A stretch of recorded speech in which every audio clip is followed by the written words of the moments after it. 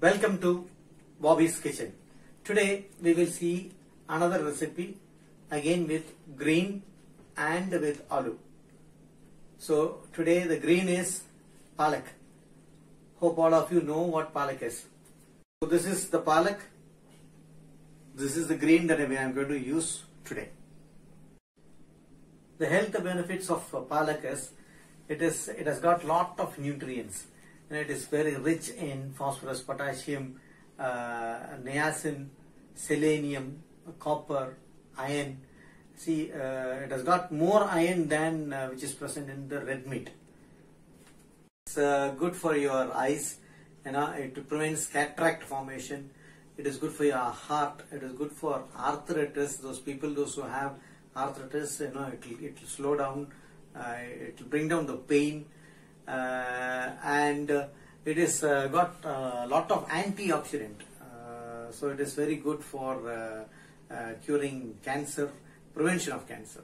That's the benefits of uh, uh, the palak. Next, we will see the benefits of uh, aloo. The health benefits of uh, aloo is, you know, it is uh, very good for your uh, uh, intestine, that is your stomach, you know, uh, and it is good for your brain. Uh, it has got a lot of potassium in it, and uh, dietary, it is very easy to digest. And for the toddlers, you know, it will uh, help in weight gain. It has got a lot of starch. Uh, so those people who have uh, diabetes, uh, you know, they, they should take it in uh, moderate level only. Uh, so that's the benefit of uh, uh, the, the potatoes. To make this aloo palak kurma, we're going to make a, uh, we're going to grind some masala. So first, uh, you know, I'm adding uh, cardamom, then uh, cloves. That will be enough.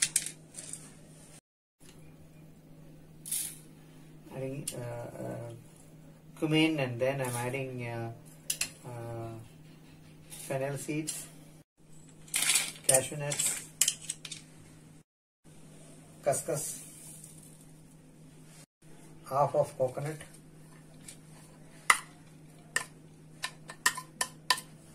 then the tomatoes. The ground masala is ready. Now I'm going to blanch the palak. So I've chopped the palak blanch it.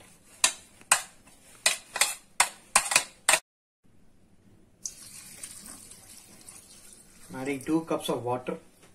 Add little salt and little bit of sugar.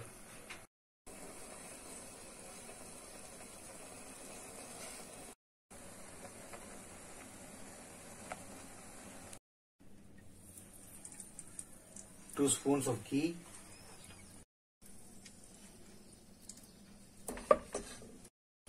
ginger garlic paste. The ginger garlic paste is got uh, you know, raw smell gone now. I'm adding onions, turmeric powder, Kashmiri chili powder. Next I am adding the ground masala. I added that water that was used for blanching uh, the palak. Now I am adding the potatoes.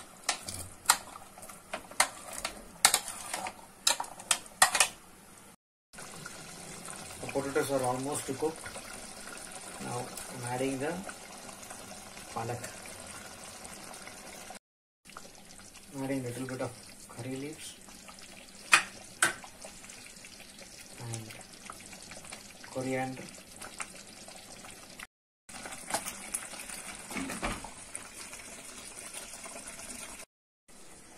Your aloo palak kurma is ready. This is uh, actually uh, made for the kids. Uh, usually the kids will not take greens. So one method of making the kids take green is through this aloo palak kurma. So it will go well with chapati, puri and bread. Since it is for the kids, uh, I have used a lot of ghee, you could have seen that. And uh, so it is very rich, very uh, flavorsome. You know, I've added all the ingredients that comes usually with uh, the kurma. So the, the the kids will definitely love it. Try this recipe at home. Keep supporting me. I thank God for letting me do all these uh, recipes and uh, the health recipes especially. Thank you once again. Thanks a lot. Support me. Thanks a lot.